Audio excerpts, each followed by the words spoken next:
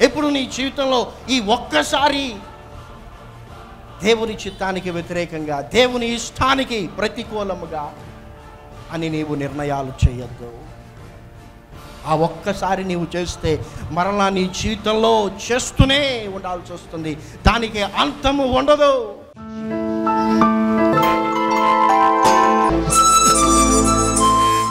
మత్తయి సువార్త ఐదవ అధ్యాయము పదకొండు పన్నెండు వచనములలో యేసు ప్రభువుల వారు ఏమంటూ ఉన్నారంటే నా నిమిత్తము జనులు మిమ్మును నిందించి హింసించి అబద్ధముగా చెడ్డ మాటలల్లా పలుకున్నప్పుడు మీరు ధన్యులు. సంతోషించి ఆనందించుడి పరలోకమందు మీ ఫలము అధికమగును. ఇలాగున వారు మీకు పూర్వమందుండిన ప్రవక్తలను హింసించిరి. సహజంగా ఈ లోకంలో మనం చూసినట్లయితే ఒక సైనికుడు యుద్ధ భూమిలో గాయపరచబడినట్లయితే అతనికి అధికమైనటువంటి ఫలము ఇవ్వబడుతుంది. అదేవిధంగా మనము కూడా యేసుక్రీస్తు నిమిత్తము నిందించబడి హింసించబడినప్పుడు పరలోకములో మనకు ఫలము అధికమవుతుందని యేసు ప్రభువుల వారు చెబుతూ ఉన్నారు. సో ఈ దినమందు దేవుని నిమిత్తము మన ఆత్మీయ జీవితంలో మనము ఎదుర్కోవలసినటువంటి ఐదు అంశములను గురించి మనము ధ్యానించనై ఉన్నాం. యేసుక్రీస్తునందు విశ్వాసం ఉంచినటువంటి మనము దేవుని నిమిత్తము నిందించబడాలి హింసించబడాలి.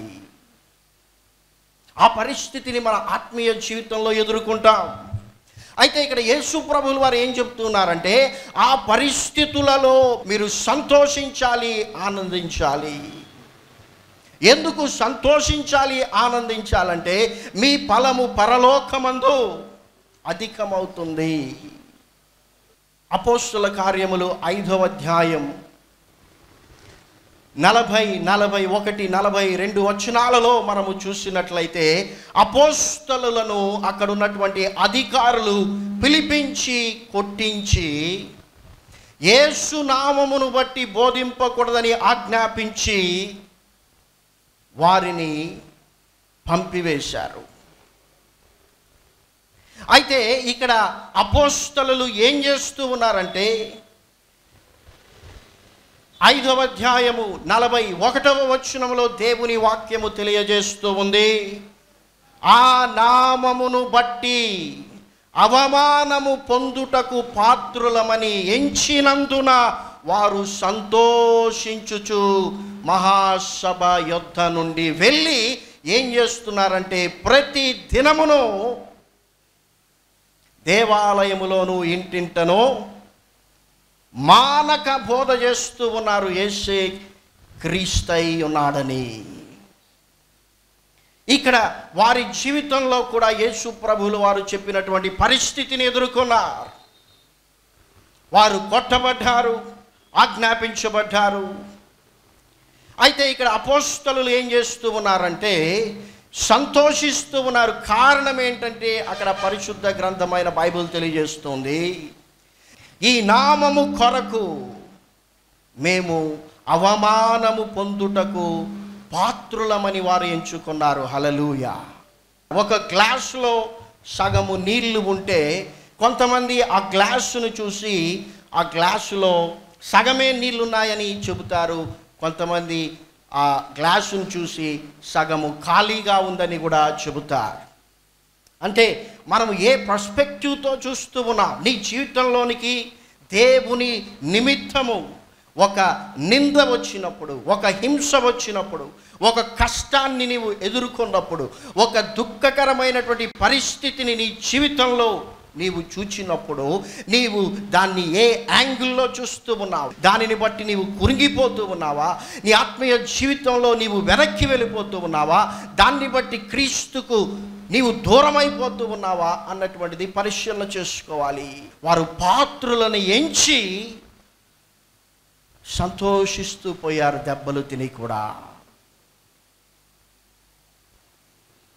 రెండవదిగా మనం చూసినట్లయితే మార్కుసు వార్త పదవ అధ్యాయము ఇరవై తొమ్మిది ముప్పై వచనములలో యేసు ప్రభువుల వారు అంటూ ఉన్నారు అందుకు యేసు ఇట్లా నేను నా నామము నిమిత్తమును సువార్త నిమిత్తమును ఇండ్లనైనను అన్నదమ్ములనైనను అక్క చెల్లెండ్రులనైనను తల్లిదండ్రులనైనను భూములనైనను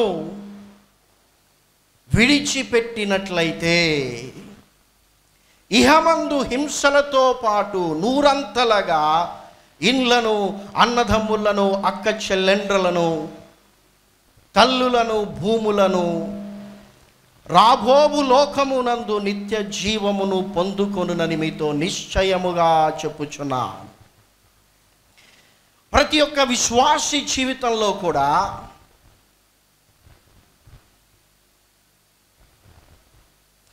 క్రీస్తు నిమిత్తము కొన్ని విడిచిపెట్టవలసినటువంటి పరిస్థితి వస్తుంది. ఒక్కొక్కరి జీవితంలో అది ఒక్కొక్కటి అయి ఉండవచ్చును. అయితే ఇక్కడ యేసుప్రభుల వారు అన్ని విషయాలను కలిపి చెబుతూ ఉన్నారు. ఒకవేళ నీ జీవితంలో క్రీస్తు నిమిత్తము నీ ఇంటిని నీవు విడిచిపెట్టాల్సినటువంటి పరిస్థితి రావచ్చు. ఒకవేళ నీ జీవితంలో క్రీస్తు నిమిత్తము నీ తల్లిదండ్రులను విడిచిపెట్టాల్సినటువంటి పరిస్థితి కొంతమంది జీవితంలో అక్క చెల్లెండ్రులను ఇంకా కొంతమంది జీవితములలో అన్న తమ్ముళ్ళను ఇంకా కొంతమంది జీవితాలలో వారి యొక్క పిల్లలను ఇంకా కొంతమంది జీవితాలలో వారికి కలిగినటువంటి ఆస్తిని విడిచిపెట్టి హింసను పొందుకునేటువంటి పరిస్థితి ఉంది. గమనించండి ఇవన్నీ విడిచిపెట్టినప్పుడు అక్కడ పరిశుద్ధాత్మ దేవుడు అంటూ ఉన్నాడు హింసలతో పాటు అంటూ ఉన్నాడు. తప్పకుండా వీటిని విడిచిపెట్టినప్పుడు మన జీవితంలోనికి హింస వస్తుంది. అయితే ఆ హింసలతో పాటు నూరంతలుగా నీవు వేటినైతే కోల్పోయావో వేటిని బట్టి అయితే నిందించబడ్డావో ఎవరిని బట్టి హింసించబడ్డావో దానికి ప్రతిఫలమును దేవుడు ఇస్తానని ఆయన వాగ్దానం చేస్తూ ఉన్నాడు. అంత మాత్రమే కాదు ఇహమందే కాదు పరమందు కూడా నీకు నిత్య జీవము అనుగ్రహించబడుతుంది.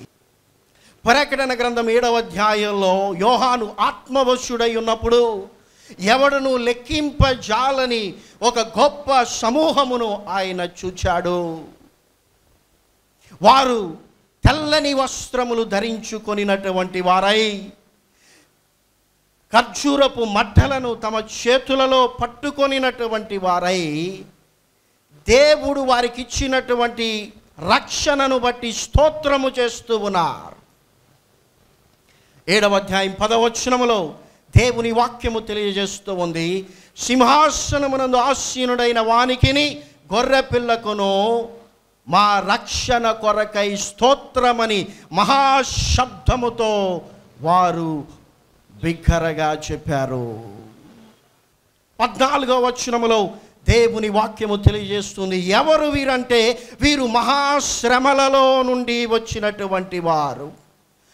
గొర్రెపిల్ల రక్తములో తమ వస్త్రములు ఉదుకుకొని తెలుపు చేసుకునినటువంటి వారు. ఆ శ్రమలలో నుండి తప్పించుకొని వచ్చినటువంటి వారు కాదు వీరు. ఆ శ్రమను అనుభవించి ఆ శ్రమను తట్టుకొని ఆ శ్రమను సహించి వారి జీవితాలలో వారి బంధుమిత్రుల నుండి తల్లిదండ్రుల నుండి అన్నదమ్ముల నుండి అక్క చెల్లెల నుండి ఇరుగు పొరుగు వారి నుండి యేసు ప్రభు నిమిత్తము వారు నిందించబడినప్పుడు ఆ నిందకు కృషించిపోక వారి విశ్వాసంలో వెనక్కు వెళ్ళిపోక ఆ హింసలను బట్టి వారు దేవుని మీద సనగక గొనగక వారు దేవుణ్ణి బట్టి సంతోషిస్తూ ఆనందిస్తూ పరలోకములో తమ ఫలమును అధికము చేసుకున్నటువంటి వారు వారు మహాశ్రమలలో నుండి వచ్చారు. సహజమైనటువంటి శ్రమలు కాదు మహాశ్రమలలో నుండి వచ్చారు. గమనించండి ఎప్పుడైతే మీ జీవితాలలో మీరు ఆ నిందను ఆ హింసను ఆ మహాశ్రమను తట్టుకొని ముందుకు వెళుతారో అప్పుడు మీ జీవితంలో అద్భుతం జరుగుతుంది. ఏడవ అధ్యాయంలోనే మనము పదహైదవ వచనములో చూచినట్లయితే అక్కడ అందువలన ఎందువలనంటే మహాశ్రమలలో నుండి వచ్చినందువలన గొర్రెపిల్ల యొక్క రక్తములో తమ వస్త్రములను ఉదుకుకొని తెలుపు చేసుకొనినందువలన వారు దేవుని సింహాసనము ఎదుట నిలిచి రాత్రిం బగళ్ళు ఆయన ఆలయములో ఆయనను సేవిస్తూ ఉన్నారు. సింహాసనమునందు ఆశీనుడై ఉన్నవాడు తానే తన గుడారము వారి మీద వేశాడు. ఎప్పుడైతే దేవుడు తన గుడారమును మహాశ్రమలలో నుండి వచ్చినటువంటి వారి మీద వేశాడో దాని తర్వాత వచ్చినములో దేవుని వాక్యము తెలియజేస్తుంది. వారికి ఇక మీదట ఆకలి అయినను దప్పిక అయినను ఉండదు. హలలుయ అంత మాత్రమే కాదు. ఇక సూర్యుని యొక్క ఎండ వారికి తగులదు. ఏ వడ గాలి కూడా వారికి తగలదని దేవుని వాక్యంలో మనం చూస్తూ ఉన్నాం. అక్కడ దేవుని వాక్యము తెలియజేస్తూ ఉంది. సింహాసన మధ్యమందున్నటువంటి గొర్రెపిల్ల వారికి కాపరి అయి ఉండి జీవ జలముల బుగ్గల యొద్దకు వారిని నడిపించును. దేవుడే వారి కన్నుల నుండి ప్రతి బాష్ప బిందువును తుడిచివేయును. చప్పట్లు కొట్టి దేవుని నామాన్ని గనపరచండి. తప్పకుండా ప్రతి ఒక్క విశ్వాసి జీవితంలో కూడా వారు ఏదో ఒక విధమైనటువంటి క్రీస్తు నిమిత్తము నిందను హింసను ఎదుర్కొనే ఉంటారు. అయితే చాలా వరకు చాలామంది నేను క్రీస్తు నిమిత్తము ఈ నిందను ఎదుర్కోవలసి వస్తూ ఉంది. కాబట్టి నేను ఈ పని చేయను. నేను క్రీస్తు నిమిత్తము హింసను పొందుకోవలసినటువంటి పరిస్థితి కాబట్టి నేను ఈ నిర్ణయము చేయనని అక్కడే విశ్వాస జీవితంలో ఆగిపోయి దేవునిలో సంతోషించి ఆనందించి పరలోకములో వారి యొక్క ఫలమును అధికము చేసుకొనని వారై వెనకకు వెళ్ళిపోతూ ఉన్నారు. అయితే మన జీవితంలో మనము ఎదుర్కొనేటువంటి ప్రతి నిందలో ప్రతి హింసలో మనం కృంగిపోకుండా కృషించిపోకుండా దేవుని చేత బలపరచబడినట్లుగా దేవునితో సరైనటువంటి సంబంధమును కలిగి ఉండుటకు ఆయన రక్తములో మన వస్త్రములను ఉదుకుకొని తెలుపు చేసుకుంటూ ఉంటే ద డే విల్ కమ్ ఒకరోజు తప్పకుండా రానే వస్తుంది. ఎవడు నువ్వు లెక్కింపజాలని ఆ గొప్ప సమూహములో నీవు కూడా ఆ తెల్లని వస్త్రములను ధరించుకొని ఖర్జూరపు మట్టలను నీ చేత పట్టుకొని నీవు కూడా సింహాసనమనందు ఆశీనుడై ఉన్న వానికి గొర్రె పిల్లకును నా రక్షణ కొరకై స్తోత్రమని ఎలుగెత్తి చెప్పే రోజు వస్తుంది. ఆ రోజు ఆయన నీవు కార్చినటువంటి ప్రతి బాష్ప బిందువును తుడిచివేస్తాడు. సరే మూడవదిగా మనం చూసినట్లయితే దేవుని నిమిత్తము మనము ద్వేషించబడతా. మార్కు సువార్త పదమూడవ అధ్యాయం పదమూడవ వచనంలో యేసు ప్రభుల వారు అంటూ ఉన్నారు మీరు అందరి చేత ద్వేషింపబడుదురు. అంతము వరకు సహించిన వాడే రక్షణ పొందును. అందరి చేత నీవు ద్వేషించబడతావు. గమనించండి విశ్వాసికి ఉన్నటువంటి ఒక సమస్య ఏమిటంటే దేవుని నిమిత్తము వారి తల్లిదండ్రులను బట్టో వారి అన్నదమ్ములను బట్టో అక్క చెల్లెలను బట్టో బంధువులను బట్టో రక్త సంబంధికులను బట్టో స్నేహితులను బట్టో వారు ఒక నిందను హింసను ఎదుర్కొనినప్పుడు వారు దానిని స్వీకరించడానికి ఇష్టపడరు. కారణం ఏంటంటే వారి చేత వీరు ద్వేషించబడ్డానికి ఇష్టపడరు. They wanted to please them చాలాసార్లు తల్లిదండ్రులు అనుకుంటారు ఈ ఒక్కసారి నా కొడుకు కోసం ఈ పని చేస్తాను. ఈ ఒక్కసారి నా కూతురి కోసం దేవునికి వ్యతిరేకమైనటువంటి ఈ పనిని నేను చేస్తాను అనుకుంటాడు ఒక్కసారి నా తల్లిదండ్రుల కోసం ఇది దేవుడు అసహించుకునేదైనా నేను చేస్తాను. ఎందుకంటే నా తల్లిదండ్రులను నేను బాధ పెట్టలే నా కన్న కొడుకును నా కన్న కూతురును నేను దుఃఖపరచలే. నా బంధువులను బట్టి నేను ఆ పని చేయలేను అని తీర్మానం చేస్తారు. ఎప్పుడు నీ జీవితంలో ఈ ఒక్కసారి దేవుని చిత్తానికి వ్యతిరేకంగా దేవుని ఇష్టానికి ప్రతికూలముగా అని నీవు నిర్ణయాలు చేయొద్దు. ఆ ఒక్కసారి నీవు చేస్తే మరలా నీ జీవితంలో చేస్తూనే ఉండాల్సి వస్తుంది. దానికి అంతము ఉండదు. ఎప్పటికీ నీ జీవితంలో ఎవరిని నీవు సంతోషపెట్టలేవు. ఏ తండ్రి కూడా అన్ని విషయాల్లో ఆయన కొడుకును సంతోషపరచలేడు. ఏ కొడుకు కూడా అన్ని విషయాల్లో ఆయన తండ్రిని సంతోషపెట్టలేడు. ఇది అసాధ్యం కాబట్టి నీవు ఎవరినో మెప్పించడానికో ఎవరినో సంతోషపెట్టడానికో నీ ఆత్మీయ జీవితంలో నీవు రాజీ పడి నీ జీవితంలో దేవుని నిమిత్తము నిందను హింసను అవమానమును నీవు త్రోసి పుచ్చినట్లయితే నీ జీవితంలో దేవుడు నీ కొరకు ఉంచినటువంటి ఆ పరలోకమును స్వతంత్రించుకునేటువంటి స్థితిని కోల్పోతావు. అందరి చేత నీవు ద్వేషించబడేటువంటి పరిస్థితి ఉన్నది. అందరూ నేను ద్వేషిస్తారు. గమనించండి ఈ లోకంలో జరిగేటువంటి ఒక విచిత్రం ఏంటో తెలుసా? నీవు త్రాగుడుకు బానిసమైపోయి వ్యభిచార జీవితంలో బంధించబడి ఈ లోక పాపపు ఆకర్షణలకు నీవు దాసునిగా ఉంటే ఎవ్వడు కూడా నిన్ను ద్వేషించడు. అందరూ నీ గురించి మంచిగానే మాట్లాడతారు. ఆశ్చర్యమైన విషయం ఏంటో తెలుసా? ఒక తాగుబోతోడి గురించి లోకం మాట్లాడుతూ ఉండేటప్పుడు ఏమంటారంటే చాలా మంచోడండి త్రాగుడు ఒకటే ఉంది. చాలా మంచోడండి ఆ వ్యభిచారం ఒకటే ఉంది. చాలా మంచోడు ఆ ఒక్కటే ఆ ఒకటి చాలదా? నీలో ఉన్నటువంటి మంచితనాన్ని పాడు చేయడానికి నీవు ఎప్పుడైతే నీ యొక్క త్రాగుడు నుండి విడిపించబడి వ్యభిచారము నుండి బయటికి వచ్చి ఈ లోకపు ఆకర్షణలకు ఆకర్షించబడకుండా క్రీస్తు వాక్యానికి విధేయుడవై ప్రయాణం చేస్తూ ఉంటావో అప్పుడు ఈ లోకము నిన్ను ద్వేషిస్తుంది. చెడిపోయినప్పుడు ప్రేమించింది చెడిపోయినప్పుడు నీ గురించి మంచిగా మాట్లాడింది అయితే బాగుపడినప్పుడు ఆత్మీయ జీవితంలో నీవు క్రీస్తుని తెలుసుకొని క్రీస్తు వైపు వెళ్తూ ఉన్నప్పుడు నీవు ద్వేషించబడేటువంటి పరిస్థితి. కాబట్టి ఎవరినో ప్లీజ్ చేయాలని క్రీస్తు నిమిత్తము నీ జీవితంలోనికి వచ్చేటువంటి నిందను అవమానమును నీవు త్రీసివేయవద్దు అందుకే అపోస్తుడైన పౌలు ఏమన్నాడో తెలుసా? పిలిపిలుగు రాస్తూ మూడవ అధ్యాయము ఏడవ వచనములో అయినను ఏవేవి నాకు లాభకరములై ఉన్నాయో క్రీస్తు నిమిత్తము వాటన్నిటినీ నష్టముగా ఎంచుకుంటూ ఉన్నాను. ఈ లోకంలోని బంధువుల చేత ప్రేమించబడడం లాభమా నష్టమా? అబ్సల్యూట్గా లాభమే. నీ తల్లిదండ్రులు నీ అన్నదమ్ములు నీ అక్క చెల్లెండ్రులు వారి ప్రేమను వారి యొక్క బంధాన్ని నీవు కలిగి ఉండడం లాభమా అంటే లాభమే. అయితే ఒకవేళ క్రీస్తు నిమిత్తం నీవు వారిని విడిచిపెట్టాల్సినటువంటి పరిస్థితి వస్తే తప్పకుండా అది లాభకరమైన క్రీస్తు నిమిత్తము. నీవు వాటిని నష్టముగా ఎంచుకుంటేనే నీవు విడిచిపెట్టగలవు.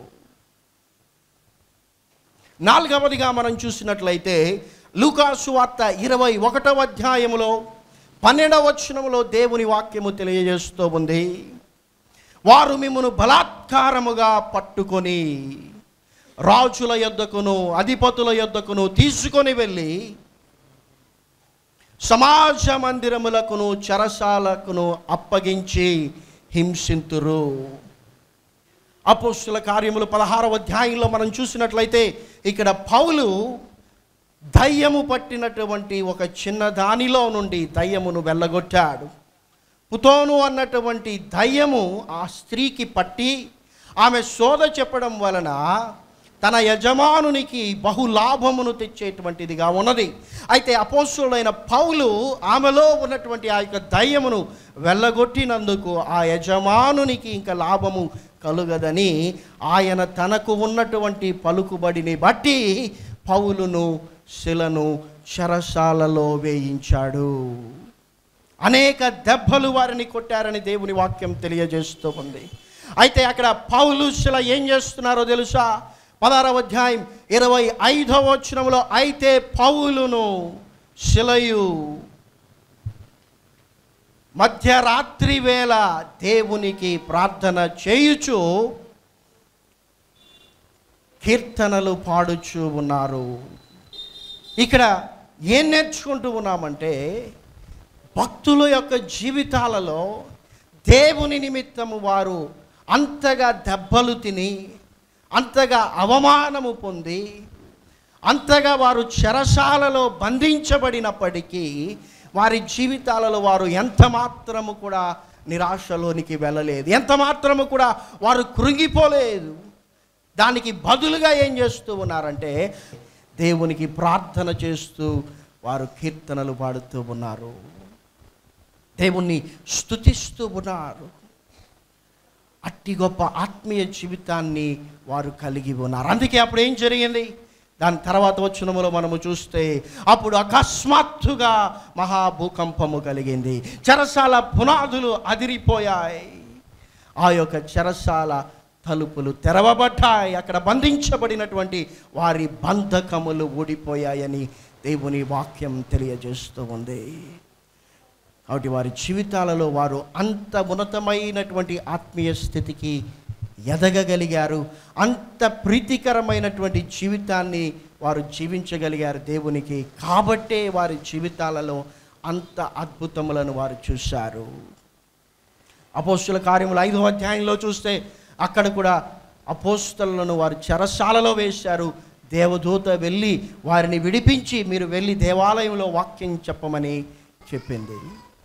ఇంకా మనం చూసినట్లయితే పేతురుని కూడా చెరసాలలో వేశారు.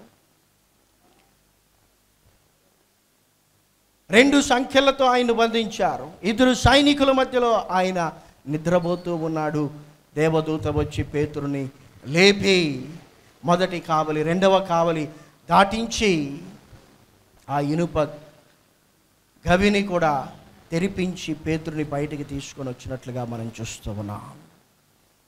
ఇవన్నీ కూడా వారు దేవుని నిమిత్తము ఎదుర్కొన్నారు. వారు అంత ఘోరమైనటువంటి హింసను ఎదుర్కొని కూడా వారు క్రీస్తుకు నమ్మకంగా జీవించి అలాంటి ప్రతికూల పరిస్థితిలో కూడా వారు దేవునికి ప్రార్థన చేస్తూ దేవుణ్ణి స్తుతిస్తూ అలాంటి గొప్ప అవమానకరమైనటువంటి స్థితిని ఎదుర్కొని కూడా వారు ప్రతిదినము దేవాలయములోను ఇంటింటను మానక బోధించుచు ఏసే క్రీస్తయి ఉన్నాడని ప్రకటన చేస్తూ ఉంటే మన జీవితాలలో దేవుని నిమిత్తము దేవుని వాక్యము నిమిత్తము ఎదుర్కొనేటువంటి చిన్న చిన్న నిందలు చిన్న చిన్న హింసలు దేవుని కోసం దేవుని నిమిత్తము దేవుని వాక్యము నిమిత్తము మనము విడిచిపెట్టాల్సినటువంటి విషయాలను విడిచిపెట్టుట ద్వారా ఎదుర్కొనేటువంటి హింసలను ఈ లోకము చేత ద్వేషించబడేటువంటి హింసలను ఎందుకు ఎదుర్కోలేం? ఎందుకు ఆ నిందలను ఆ హింసను మన జీవితంలో స్వీకరించి ఆ పరిస్థితులలో మనము సంతోషించి ఆనందించి మనము మన ఫలమును పరలోకములో అధికము చేసుకోలేమన్నటువంటిదే ప్రశ్న. చివరిగా మనం చూసినట్లయితే యేసు ప్రభువుల వారు మతైసు వార్త పదవ అధ్యాయం ముప్పై తొమ్మిదవ వచనములో ఆయన అంటూ ఉన్నారు తన ప్రాణమును దక్కించుకొనువాడు దానిని పోగొట్టుకొనును కానీ నా నిమిత్తము తన ప్రాణమును పోగొట్టుకొనువాడు దానిని దక్కించుకొనును. అందరూ దేవుని నిమిత్తము చంపబడతారని కా అయితే కొంతమందిని దేవుడు ప్రత్యేకించి ఏర్పరచుకున్నాడు దేవుని నిమిత్తము చంపబడడానికి.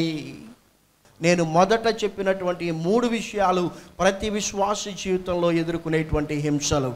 అయితే నేను నాలుగు ఐదు చెప్పినటువంటి పాయింట్స్ కేవలము ఏర్పరచబడినటువంటి కొంతమందికి మాత్రమే వచ్చేటువంటి హింసలు. ఎందుకు వీటిని చెప్తున్నానంటే నేను మరలా చెప్తున్నాను. అలాంటి హింసలను ఎదుర్కొన్నటువంటి వారే వారి జీవితాలలో నిందలను హింసలను అవమానములను ఎదుర్కొని దేవుని కొరకు నిలబడగలిగితే వాటితో పోల్చుకుంటే చెప్పబడిన ఆ మూడు హింసలు చాలా తేలికైనటువంటివి భరించగలిగినటువంటివి కాబట్టి మనము ఇంకా ఎంతగా వాటిని స్వీకరించి మనము క్రీస్తు కొరకు నిలబడాలి అన్నటువంటిది అర్థం చేసుకోవడానికే. ప్రకటన గ్రంథం ఆరవ అధ్యాయంలో మనము చూసినట్లయితే తొమ్మిదవ వచనం నుండి ఆయన ఐదవ ముద్రను విప్పినప్పుడు దేవుని వాక్యము నిమిత్తమును తామిచ్చిన సాక్ష్యము నిమిత్తమును చంపబడిన వారి ఆత్మలను నేను బలిపీఠము క్రింద చూచి తినని యోహాను చెబుతూ ఉన్నాడు.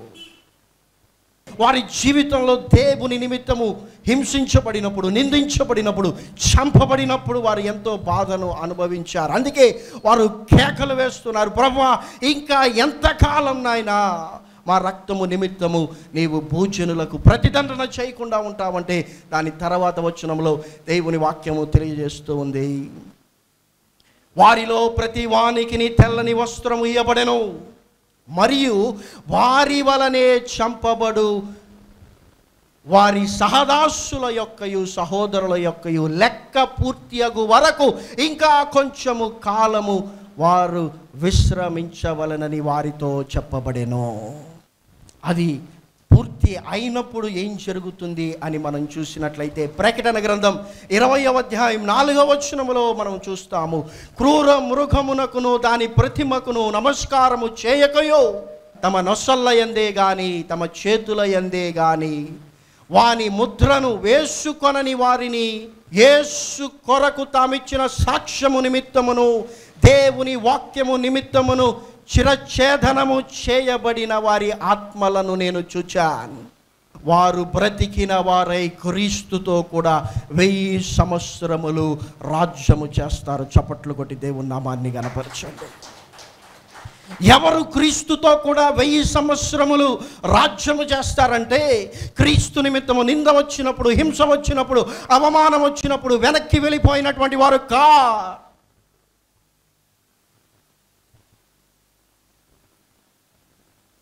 ఆ నిందను తీసుకొని ఆ హింసను అనుభవించి అవమానమును భరించి అవసరమైతే చెరసాలకు వెళ్ళి ఇంకా అవసరమైతే క్రీస్తు కొరకు వారి ప్రాణములను సహితము అర్పించారో వారు బ్రతికిన వారై క్రీస్తుతో కూడా వెయ్యి సంవత్సరములు రాజ్యము చేయుదరు.